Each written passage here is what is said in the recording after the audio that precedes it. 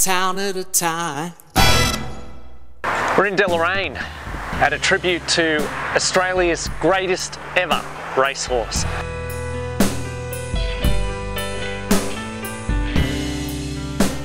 You've heard of Phar Lap. Phar Lap's got nothing on old Malua here. Won everything, and I do mean everything. He was a sprinter, a long distance racer. He won the Melbourne Cup in 1884.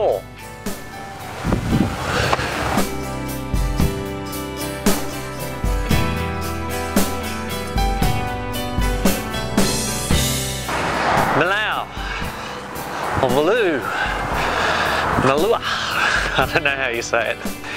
In 1884, Malua won the nation's top races from 1100 metres to 3200 metres. That's unheard of. Both a sprinter and a long distance horse. Incredible runner this one. Wonder if it's a life-sized scale model.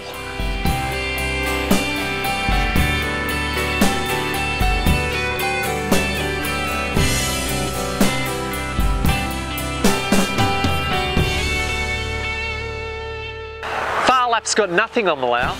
Tasmania's greatest racehorse was born here in Deloraine.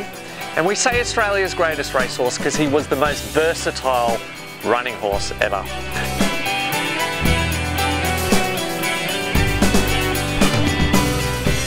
It's been well over a century and no horse has even come close to the versatility and the record of the mighty Malua.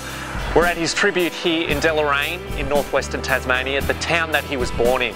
Malua was known as the most versatile racehorse in Australian history, winning such races as the Newmarket Handicap over 1200 metres right through to the Melbourne Cup over 3200 metres in 1884. A couple of years later, he interrupted a rather successful stud career to win uh, the Australian Grand National Hurdle over 4,800 metres.